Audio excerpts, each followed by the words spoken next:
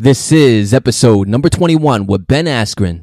Uh, how do you learn that? Well, you pick something you want to do and you try really hard at it and you fail some and you get back up and you fail some more and you do some problem solving. And so that's how you really learn something. If your parents make you do something, you don't really learn it. If you don't really care about something, you don't really learn it. The way you learn the most is when you're deeply passionate about something. And there's nothing that matters more than you being successful at it. Welcome back to another episode of Anchors of Health, where it's all about helping you achieve the best health you possibly can. And I do that by bringing on world class experts on the four key anchors of health, which is mindset, nutrition, movement, and recovery. Within each, it's all about finding what works for you. I'm your host, Bill Choi, and today's episode is all about mindset with one of the most accomplished U.S. wrestlers of all time. He's a multiple time NCAA champion, 2008 Olympian, and he's arguably arguably the best welterweight mixed martial artist of all time. And I brought him on to talk about mindset. How can we take the principles and concepts of someone who is world class in what they do and apply it to our lives? That's what it's all about. It doesn't matter if you don't like MMA or wrestling or even sports for that matter. There's still a lot of key takeaways in this one. So in this episode, we talk about the three key things that help Ben become successful the importance of vision and how you can ignite that vision, the importance of struggling and failing, Ben's biggest failures and what he did to overcome them, what it takes to be great, what you and your kids can do to manage fear and anxiety leading up to a major event, how to be a better parent when it comes to your kids' athletic development, his take on specialization for kids, what Ben thinks about early competition for kids, the two books that Ben gifts the parents the most, and so much more. If you want the show notes and links to everything we discussed, just head over to Anchors anchorsofhealth.com slash 21. So let's just jump right in. Here's my conversation with Ben Askren. Ben, welcome to the Anchors of Health podcast. Thank you for having me. So, Ben, I'm obviously a huge fan of everything you've done in MMA and wrestling, but I brought you on to talk about mindset because you have a lot of insight in this very important area and there's a lot I want to cover. But let's start with this. When and how did you first become aware of mindset being so important? Well, I would say early on, and uh, you know, my dad used to say it, it's all mental when, when I we were competing in sports when my brother and I were little kids. And you know, he, he never really expanded past that, besides saying it's all mental. So I guess I, I didn't realize what was important about it, but I realized there was something important about it. And so then that that's it for a while. And you know, it wasn't until college till I started really uh, delving a lot deeper into uh, what the mental aspect of it had to do with success there's many things that go into being successful. But if you had to boil it down to just three key things, what are the three key things that helped you become successful? Oh, yeah. Uh, I, I, guess I, I, think you're correct in that saying that it's impossible to boil, to boil down to just three. Oh, wow. If I had to do just three, um, I would say, I, you know, hard work. I almost don't even want to cl- include that, like work ethic, because I, I think that should almost be a given obviously you're gonna have to be hardworking if you want to be successful at someone. But still, like I don't know if I want to count that because that that again that should be a given. Number two would be uh, I don't know how you want to consider it, but problem solving, adaptability, evolution, you know, whatever you want to say, just the ability to think past whatever you're doing, see down the road, see what your roadblocks are, and, and make it happen. You know, in, in my sport of wrestling or mixed martial arts, that that's something that's lost on a lot of people. They definitely get the number one hard work, but then when it comes to thinking about it, man, they, they really, really, really struggle with that one. They'd rather just go keep working hard as opposed to fixing the problems. And then if I had to say number three, I would think it would be, and again, I hate that you're limiting to three, but if you had number three, it'd be dealing with adversity. Because if you're going to be great at anything, there's going to be um, a high level of adversity uh, many times. And the ability to bounce back from it very quickly and work through it is going to be gigantic. If you're if you're the kind of person who has some adversity and you crumble and you're weak in the face of it, man, you're not going to get very far in any endeavor. Right, exactly. And and something I've heard you talk about and mention is the importance of vision. And uh, you know, when when I did a lot of research on you, I felt like that was kind of like the starting point for people to find that vision. So, what are some ways that we can foster that vision? Yeah, and, and you know, lots of times I, I reference it, you know, based on kids because uh, I was able to find my vision in, in life really early. And I, you know, I would say a couple key trigger points where I went to watch the high school state tournament when I was in fifth grade, and I said, "Dang, I want to be a state champion." And then when I was 15, I got to go watch the Olympic trials in Dallas, Texas. I said, "I want to be an Olympian." And sure enough, eight years later, I made it to the Olympics. Um, but I can really point out those two key things as as you know things that set my mind down the road to what I wanted to be a lot later in life. And so I was lucky enough to have those things happen early. And most, whether it's a coach or a parent or a mentor or whoever, they don't talk about that with kids. They kind of just talk about the here and the now.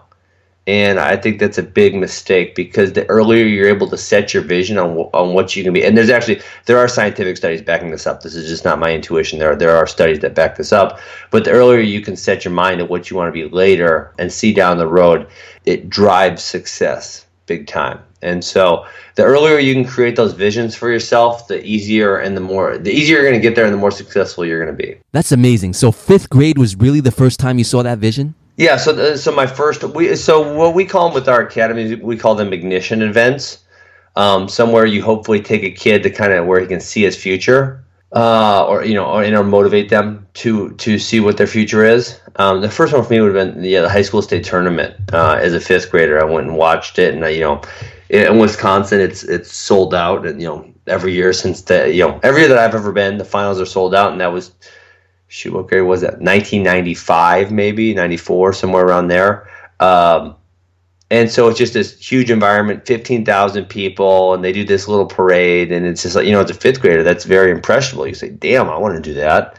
And so, you know, that was my first real large ignition event where I said, that that's what I want to do right there. And, um, you know, then I said my second one was with the Olympic trials in 2000. I convinced my parents. I don't even know how I did this. Yeah, how did you do that? I don't know. I just said, hey, I want. There was a camp, and then there there was a camp going with the trials, and I said, hey, I want to go to this, and they're both working, so I convinced them to fly me down and get my own hotel room. Like I don't know. I don't know how I talked them into that. That's insane. Crazy. But so nevertheless, I talked them into it to letting me go to that uh, when I was 15 all by myself. And I saw those guys, and I said, "That's what I want to be." And I even said, I said in 2004 I'm going to qualify for the Olympic trials. In 2008 I'm going to make the Olympic team, and that was uh, that was what happened. Wow, unbelievable! And so you mentioned this ignition event. That I think is a phenomenal thing that you guys are doing there at your academy, helping kids uh, to kind of see their future. And you know that's something that I guess adults can apply to their lives too. Wouldn't you say? Absolutely. I mean, anyone anyone can apply it to their life. I mean, if if you don't have someone who motivates you or someone you can look at and say, I want to be like that person or I want to do that thing, uh, you're not searching hard enough or you don't have a pulse. One of the two. I mean, and even today, there's people I look at and, you know, I'm motivated by, and it, it could be way bigger than me, right? Like with my wrestling academies, you know, I, I read uh, the book Shoe Dog, the book Shoe Dog by Phil Knight, mm-hmm. and it's like, damn, that's motivational to see how hard he had to work to make Nike go, and then to see what Nike is today you know that it, it's super motivational because it's like they, that dude struggled for damn near 20 years to make that company work and now they're one of the biggest in the world. And so you know when, when as an entrepreneur when i'm having struggles in year five and thinking damn i'm putting a lot of time into this i'm not having success i want to yet then you think well phil knight did it. He grinded it for 20 years before he really made it if you will and it kind of puts things in perspective. Absolutely. Now how big should that initial vision be? Do you believe it should be something like way up there or something that, you know, is kind of in that mid tier level? Like, like how do you approach that? Uh, I mean, honestly, when I had them for myself, I didn't really think about it. I mean, you chose the Olympics. You can't get higher than that. Well, I mean, the first one, yeah, but yeah, like I said, I, I didn't think about it. I was just a kid, and I wasn't saying, "Hmm, I'm gonna set ignition events." It was like, I see it, I want to do it, you know, and that was that was all it was. And so, um, but I, you know, I, w- I would say why not aspire to the highest levels? There, there's really nothing wrong with that whatsoever, and um, you know that's obviously not saying you're going to have a whole bunch of short-term and mid-term goals to try to get there. But there's really nothing, I, in my opinion, there's nothing wrong with ex- aspiring to be the top. And I don't really know it any other way. That's all I've ever done. Want to be the best. So, so what do you do to keep that vision front and center in your life? Do you write your goals down? Do you journal every day? Can you kind of walk us through what you do for that? Yeah, I, I actually don't. I talk about it. I speak about it. For example, you know, as an MMA, I said I want to be the best fighter in the world. Um, when I was in college wrestling, I said I want to be NCAA champ and Hodge champ or Hodge Award winner. So yeah, I, I you know I definitely um, I spoke about them, but you know it's not something. Well, that's even big. that's even bigger. Saying something publicly is, is sure. Is I guess that is bigger, right? So yeah, so I, I stated what my goals were, but then it's one of those where just, that's my goal. I don't need to think about that every day. I, I know that it's there. And so, you know, for me, I would say the mid and the short terms are more important. You know, we say growing my business, Askren Wrestling Academy. It's like I know I want to be the biggest and the best in the United States one day. And so then it's like, okay, well, what do I got to do today? What do I have to do this week? What do I have to do this month to start making those things happen? And you know, some of it's as small as I need to go get another kid to sign up right? Or I need to make this kid a little bit better, or I need to make this kid enjoy it more. It, you know, it's, it's a lot of really small things. And so people, I don't want to say focus too much, but once you set your point, you know, your long term goal, then I think it's a whole lot more about short term and medium term goals to make yourself really successful. Absolutely. So let's get into some of that because you know I think next is persistence, right? It's the it's the hard work that you were talking about that's super important. Um, most people drop out and there's a lot of roadblocks under the umbrella of persistence. So let's start with toughness. Do you think like our society today is more soft or mentally weak than ever? Um, I would say yes. I, I would never put it in those terms necessarily and I, you know, so I, what I would say the problem is, is people thinking they can have what they want too easily. And and frankly, if you look at modern, you know, people kind of bash on modern society, but modern society, living in 2018 is better than living at any other time in the history of the world. Oh, there, absolutely. And, and there is metrics to prove that from whether you want to go healthcare uh, longevity, poverty, you, you name it, right? Living in 2018 is better, and we've, we've had significant advances in everything. And that's not saying that there's no work to be done as, as uh, uh, mankind, but that that's it's a great place to live. Now, in America, um, one of the things that, that happens is, you know, especially in America, is, is things are more accessible. You can get things easier than ever before and faster than ever before. And there is this level of instant gratification and you know and then you go to the helicopter parent who wants their kid to have the finest of everything and um, but where you really learn stuff and this is where you know parents are sometimes they think they're helping too much you know they think they're helping but what they're really doing is hurting because they're they're not letting their child struggle and fail and that's mm-hmm. where you really learn something you learn something by struggling and by failing and like you know i said if i pick top three adversities on there well, you don't you don't learn how to deal with adversity unless you have adversity. It's impossible. Right. The only way to learn how to deal with this is to experience it. And so, you know, those parents who are protecting their kids from failure or protecting their kids from struggle are doing their kids a, a gigantic disservice. Because if you want to be successful at anything, you absolutely have to deal with adversity and deal with it well. Absolutely. So, I mean, dealing with failure, right? So, can you talk about the failures that you've had personally in your life and what you did to overcome them? Well, I yeah, absolutely.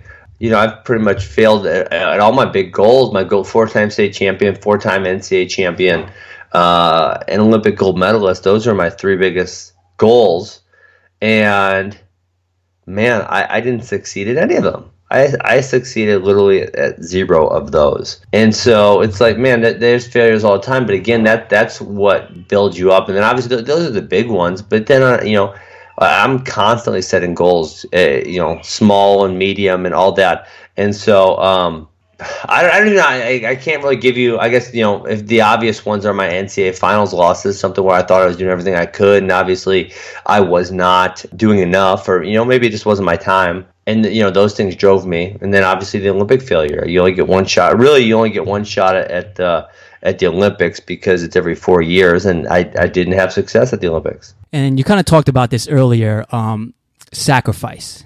Do you feel like in order to achieve something great, there needs to be a certain level of sacrifice, and people are unwilling to go there? Yeah, I, I yeah, I, I think that I think that goes without saying because you know if and, and this is what I would say to kids: if it was easy, everybody would do it. Mm. I mean, and and that you know that's kind of a common saying, but that's the truth. It's like, okay, what's what's special about getting a Big Mac at McDonald's? There's nothing. Anyone who has a dollar can go freaking to McDonald's and get a Big Mac. What's special about that? Nothing. But when you talk about, we're talking about a state title. We're talking about a college scholarship. We're talking about an NCAA title. Those th- the reason those things are special, the, the reason those things carry lots of value, is because of what it takes to get there. And you know what it takes to get there is gigantic amounts of sacrifice. There's going to be a lot of things that you give up and a lot of things you do that maybe aren't the easiest way to do them. But then as you do them, as you drive yourself to those big things, that's what really gives value to those achievements. Now, let's talk about fear and anxiety. When it comes to performing at a big event, like in your case, it's probably the most extreme and scariest of any sport in the world, which is MMA. You're fighting in front of a sold out arena with media, cameras, and the world watching you. But for others, you know, maybe it's just speaking publicly, or maybe it's a fear of flying, whatever it is. In your case, what do you do to overcome fear and anxiety in those hours leading up to a major event? Yeah, um, I don't know. You know, I've got I've got pretty good. I guess I'll give you a story to, to, to, to emphasize this, but when I was 15 years old, I went to uh, the national tournament and it, the, the biggest national tournament. It was it's kind of at that point it was the one the but I lost my first two. I went 0 and 2, lost my first two matches, and then that means you're out of the tournament.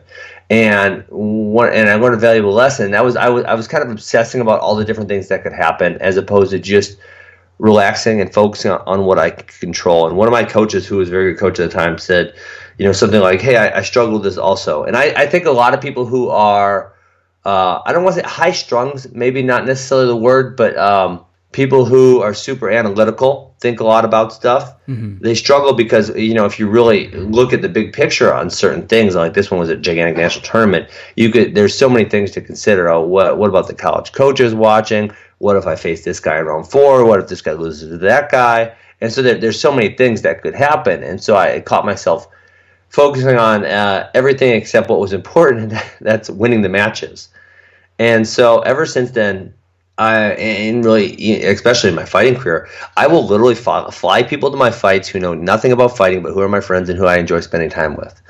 And because I want to stay as relaxed as possible, I don't want to think about the fight when I'm in the locker room. I don't want to think about my wrestling match before 30 minutes before I'm wrestling. Because listen, if, if I don't have the skills and I don't understand what strategy I need to take, I'm not going to fix it 30 minutes before. I'm not going to fix it an hour before. And so it's like those those things are those are things that have problems that need to be solved way way way ahead of time. And so in the you know in those final moments, the only thing I needed to be doing is getting myself as ready to compete as possible. And for me, that's being calm and being relaxed. And that's it. I mean that that's literally all I have to do. And then I will go out and execute the way I need to execute. And so that's kind of my thing is you know, I don't feel nerves, I don't feel pressure, and I think a lot of that's because I've developed a really good process to getting myself ready to compete at, at the highest levels. Right. And I guess a lot of that confidence comes with all the preparation you did prior to the event. Now, something I've heard is how in training camp, it's like 90% physical and 10% mental. And then leading up to the event, it kind of switches where it's 10% physical and 90% mm. mental. Would you agree with that? I would say 10% mental in, in training is probably too low. Not that you could actually really put a percentage on it. But you know, in, in, in training camp, you should be constantly thinking about you know, especially when you're younger. You know, because I think when you're younger, it's really uh, you, you're trying to build your skills, and so you know, you should constantly be thinking about, well, what could I have done better? What do I need to do different? Why did he do this to me? Why did he do that to me? And, and just really deeply consider those things. And so that that's a that's a lot mental right there, right? You're you're, you're spending a lot of time thinking about um, how you need to execute better. And so, you know, like I was talking about those, those initial characteristics, say adversity, say you go in one day and get your butt kicked, and then you're depressed for the next two weeks because you don't understand how to deal with the, uh, adversity. Well, that's that's going to be a huge issue. That's going to be a really big issue. And so to to say this that uh, you know training camp is all physical or, or training or, or, practice is all physical. Well, that, that's that's not really giving it the right feel. You know what I'm saying? Mm, right. Absolutely. And yeah, and so then, it, but then again, and then if you say, well, competing is all mental, well, yeah, mental is an important part of it. Um, but uh, you still have to be in shape. You still have to have the right skills, and if you don't, it doesn't matter how strong your mind is, you're going to lose.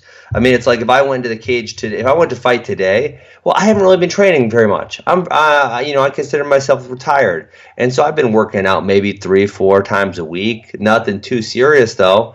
And so my mind would be the same as it always was.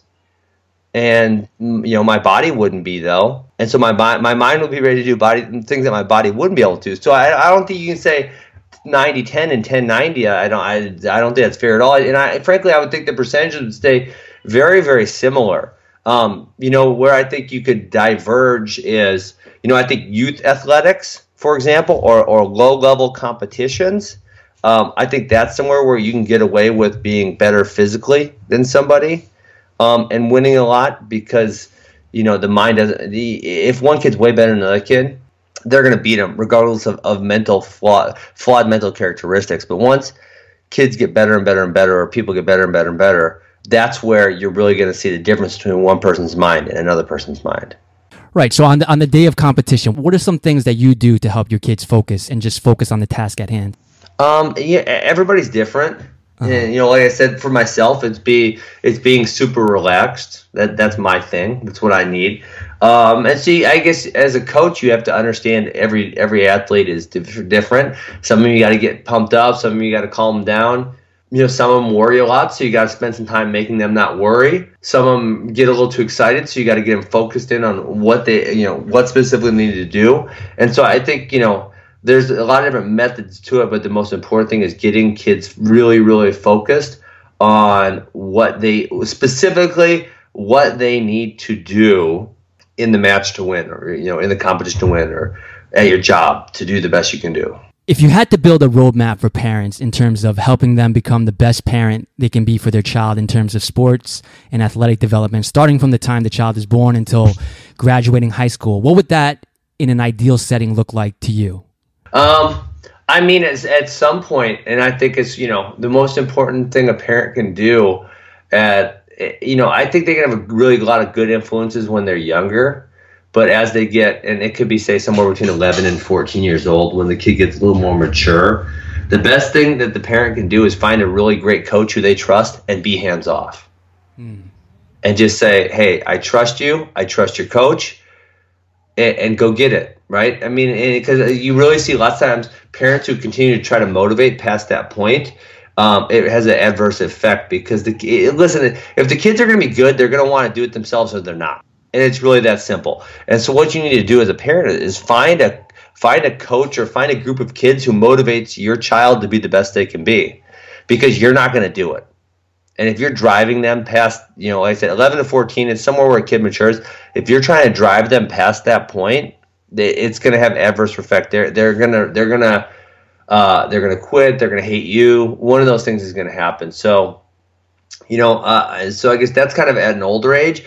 At a younger age, I would just I would teach them to love the competition. I would teach them a good work ethic. I would teach them to uh, be good at failing, you know, to, to bounce back, to have that adversity. So I, I, would teach them those simple things.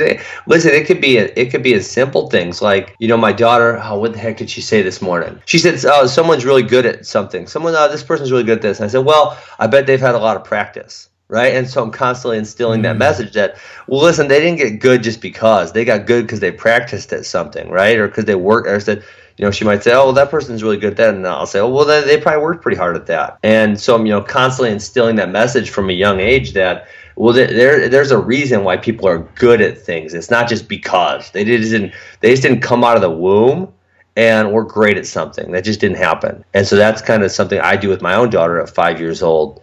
Um, yeah. Great, great. And, and in terms of, you know, something that comes up a lot is uh, specialization. What's your take on that for kids?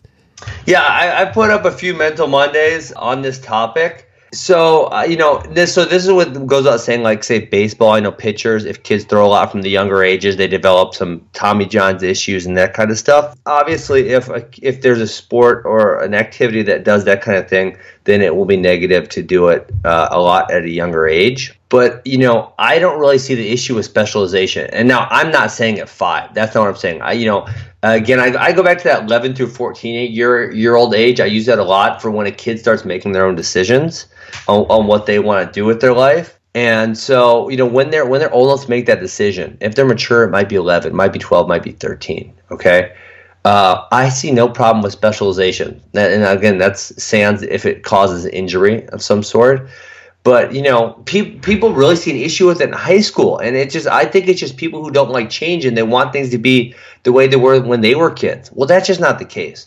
And frankly, what what we want kids to learn from sport is what it takes to be successful. It all these characters are talking about hard work, dealing with adversity, persistence. So uh, how do you learn that? Well, you pick something you want to do and you try really hard at it, and you fail some, and you get back up, and you fail some more, and you and you uh, you do some problem solving, right? And that so that's how you really learn something. If your parents making you do something, you don't really learn it. If you don't really care about something, you don't really learn it. You you the the way you learn the most is when you're deeply passionate about something. Mm. And there's nothing that matters more than you being successful at it, which that's the way I was for uh, many, many, many years about wrestling. And so, why are we going to say if a kid at 12 years old says, This is what I want to do with my life? I can't possibly find a negative with that. I really can't. And so that's where I, you know, some of these people who say, who are so against it. Now, am I against a parent forcing a kid to do something year round? Yes, absolutely and obviously. Okay, but if a kid at 12 says, What I want to do is be a great wrestler, as a coach, I'm going to say, Well, this is what it's going to take to get where you want to get to. And then they're going to go and so I just can't I can't really see the issue with some of uh, some of their problems. So for you, what, what was your uh, what was your sports background when you were a kid? Did you play a lot of different sports? When did you specialize? Well, uh, so I did I did I played all sports.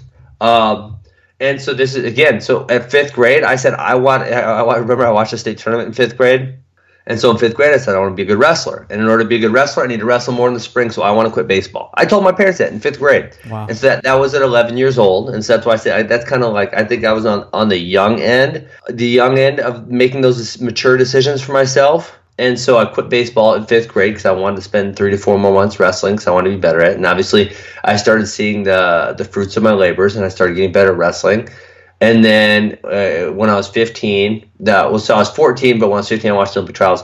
When I was 14, that was my last year playing football. And then after that, I said, all, all I want to do is wrestle all the, all year round because I want to be the best wrestler in America. And that's all I did. Wow, unbelievable. Yeah. so also with parents, you know, I think they get a lot of pressure for their kids to compete a lot. So, I mean, what what would your be your advice there with kids uh, growing up and competing? Are they competing too much when they're young? Like, what would that ideally look like? What would you recommend for parents there in terms of yeah competition? Um, so yeah, uh, we're we're I don't want to say anti-competition, but yes, people are competing too young, uh, significantly too young, significantly too much. I mean, anything that has a, a, a national championship before age ten is pure idiocy. Why why kids need to be competing at that level at that age is, is just so dumb. And uh, I, you know, I, I, rage against a lot in wrestling because there are those things in wrestling that people do. It doesn't matter if they're the best in the country when they're seven. Who freaking cares? Because they didn't make those decisions on their own. And if you're telling me they did, you're lying to me. Because I have a five-year-old. She doesn't make barely any decisions on her own. You know, we're telling her, "Hey, let's go to gymnastics tonight." She says, "Okay." And so it's like, well, why are you driving these kids to be successful at a young age? It's going to have an adverse effect over the long term. So there's not really any benefit to it um, you, you're more you're more treating it as a reflection of yourself um, and trying to feel good because your kid's having success at that age. And so, yeah, we, we go against competing um, a lot at a younger age. I, I really don't see a long term benefit to it. Uh, I don't think my daughter will compete in, in anything. I, I, mean, who knows? Maybe if there's a youth soccer or something, maybe she'll play a couple games. But you know, wrestling, I don't see the benefit of her competing say before seven years old. And then you know at eight nine ten it'll probably be you know minimal competition. And then if if it's something she wants to do seriously and if it's another sport it's similar you know a similar thought process. If it's something she wants to do more seriously then at you know at 11 12 13 14 we'll we'll support her and we'll find her the right coaching. And uh, we'll we'll let her do her thing. So Ben, I know you're big on reading. Are there any books that have really helped you and influenced you that you would recommend on the topic of mindset? Um, yeah, there's hundreds. uh, you know the the funny thing. So I, you know, I said I, I didn't think about the mind uh, or the mental stuff really till college. Is that I my the only thing, the literally the only thing I liked reading through middle school and high school was about successful athletes, biographies. It's all. It's literally all I read, and so you know, w- without doing it purposefully, without thinking about what I was doing. I think I was reading about the greatest minds in sport because obviously when you read a biography about someone, you get a, you get some insight into how they think and how they do what they do. And so by the time I was 18, I'd probably read I don't know 200 biographies of high high level athletes. So I'm getting you know constant insight into what these people are thinking. And again, that wasn't me thinking I should study all of these people. That was me just saying I love reading about people who succeed in athletics. I enjoy it, and so I'm going to keep reading them. And I think you know in turn that gave me a lot of insight into how they think. Is there one that you gift the most to people? Um, is there a book? Well, I mean, the, the guy I read the most about was Muhammad Ali. I think he, he was just he was fascinating in general, but obviously highest of high level athletes and very just intriguing gentleman. Um, you know, the, the, there's two that I give to parents that I think are really good uh, and they're pretty they're pretty easy reads. One would be uh, Mindset by Carol Dweck. I think that's a really simple read. It's a simple concept to understand for parents, and it makes the world of difference for kids. Mm-hmm. Um, and then the other one, and again, you know, I've, I've heard books and uh, hundreds and hundreds of books, but if I got to pick a couple, the other one would be, um, oh my gosh, oh, The Art of Learning by Josh Waitzkin. I don't know if you've ever heard of him. Yep. It, it, again, a simple book, and that that's one right there where, and he's very introspective in the book um, where he talks about the pressures of competing as a kid, and you know his parents did, you know, his, and he says that his parents did a great job not putting too much pressure on him because he was already putting the pressure on himself, and so um, you know th- those are two that I think are really good. They're they're pretty easy reads. Um, and they make a big, a big difference. Fantastic. And Ben, just as a final wrap up question, do you have any last words of wisdom on mindset or anything you want to leave our audience with? Man, you know, I, I, think we covered quite a bit. I guess you know the the one area that uh, you didn't really we didn't get to talk about. It could be my fault, could be yours. we'll, we'll, never know. Um, you know, would be keeping a beginner's mindset. Mm. Um, and so that's you know understanding that you have so much to learn. And again, they've done studies on this. The people who people who have a low level understanding of stuff think they know more than they actually know, and people who have a high level of understanding think they know less than they know. And so. Um, you know, people who are experts in their field, they realize that there's so much more for them to learn. There's a world of knowledge that they're never going to, uh, never going to be able to fully take in. And so, uh, you know, that's for me. Just keep learning, keep keep digging, keep trying to figure the world out. Uh, you know, or the endeavor that you're in. Keep trying to figure it all out. That that's gigantic. I love it. And then Ben, if people want to learn more about you, where can they find you? Uh, I you know I I, I communicate mostly through Twitter. I don't do a lot of Facebook or Instagram. Um, so it's just at Ben Askren on Twitter. Perfect. Ben, great stuff. There's so much you mentioned here that people can take and apply to their lives. I wish more people got to see this side of you because I know all the great things that you're doing for the kids and your community. It was a pleasure having you on the show. Thanks so much for coming on. All right, thanks, Bill. There it is. I hope you enjoyed that interview as much as I did. There were a lot of key takeaways, a lot of gold nuggets if you just listen closely to what he was saying. Hopefully, I was able to bring that out for you all. Uh, if you want the show notes and links to everything we discussed, just head over to anchorsofhealth.com slash 21. That's it for me, and I'll see you in the next one. Peace.